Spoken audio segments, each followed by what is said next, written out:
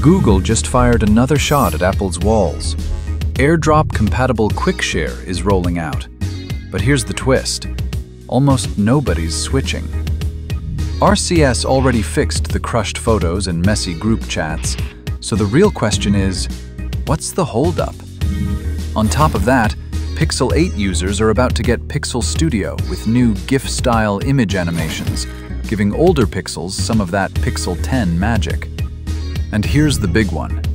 Apple might shift iOS 27 into a snow leopard-style cleanup year, cutting bloat and boosting performance instead of packing features. Finally, forget the rumors.